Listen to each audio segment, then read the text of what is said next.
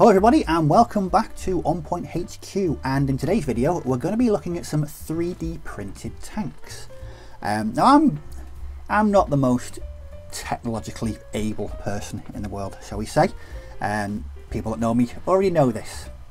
Uh, my mobile phone is like a brick and is steam powered. I still listen to CDs and a Snickers will always be a marathon that's not te te that's not technology that's just me showing my age. But you get the idea.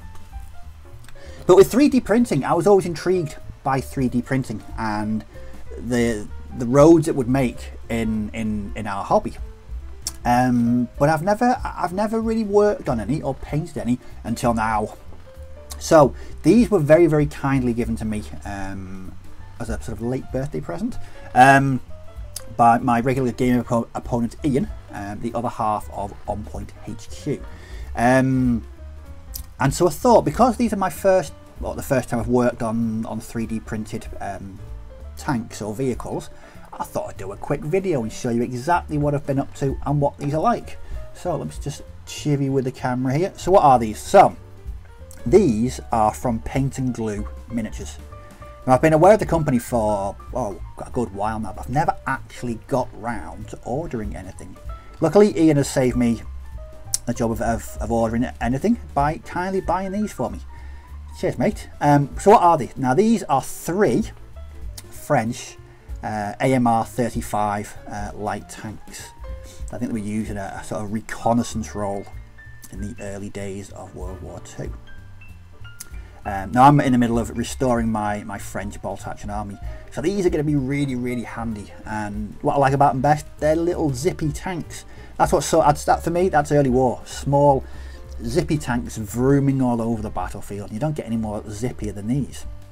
So I thought I'd show you exactly what they look like, um, how they went together, etc. Then show you one that I've painted just to show you how well these paint up.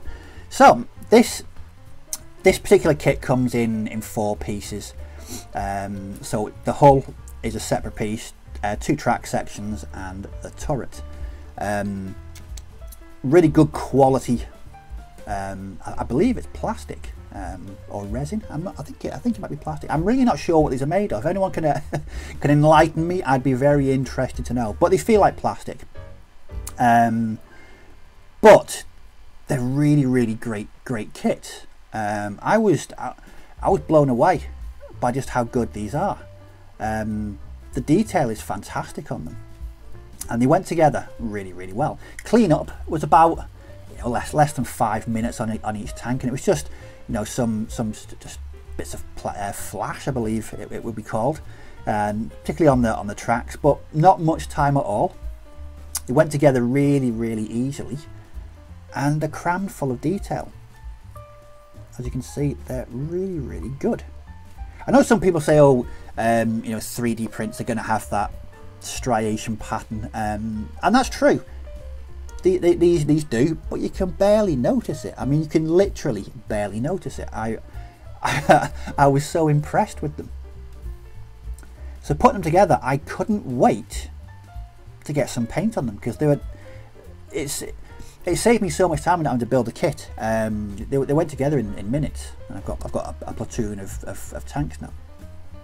Um, but there we go. Just use, I just use normal super glue to, to, glue them together.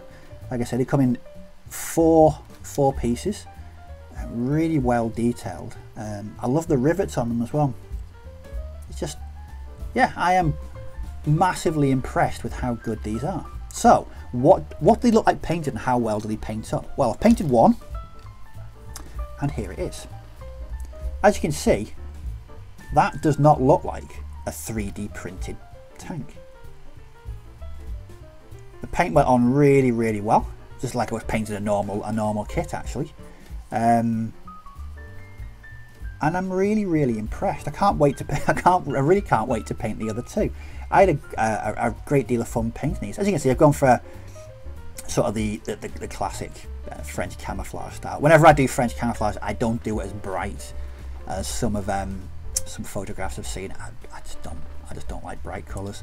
So I've just used um, three colours. If anyone's interested in the colours I used, it was the um, the base colour is Vallejo green brown.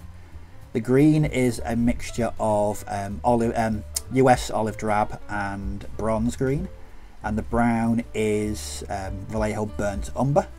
It was given a wash. It was a 50-50 wash of Agrax Earth Shade and Reikland Flesh Shade. And then over the green parts, I went over that with Athonian Camoshade.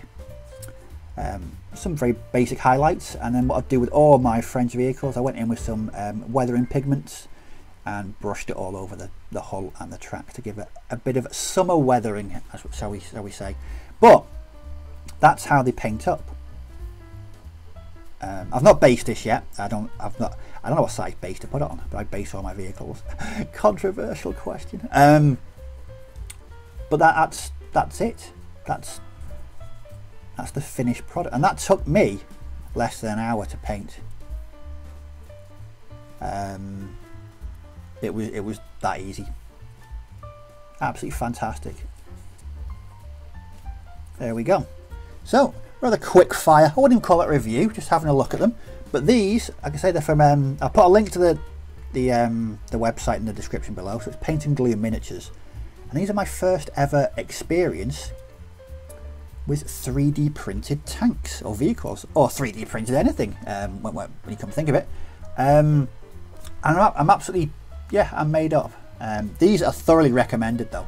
Uh, if you're after some obscure um, you know, not often modelled um, tanks or, or vehicles. Um, Paint and Glue Miniatures has a, a staggering array of such, you know, strange vehicles you wouldn't normally see on like a standard um, gaming website or even a model website. Um, but there we go. Um, me and 3D, 3D printed models, um, I am very, very impressed. And I would definitely give these um, a 10 out of 10. I just love them. They're so good to work on. The detail's fantastic. And they paint up really, really, very nicely. So can't wait to get the other two painted and added to my um, ongoing French army. Got any comments or questions about these or gaming in general? Just leave them down below and I'll certainly respond to all comments and questions. Um, down below you'll also find a link to our new Facebook group, so feel free to wamble on over and join and join us in some gaming chat. It's always always good for a, a bit, a bit of um, a bit of gaming chat there.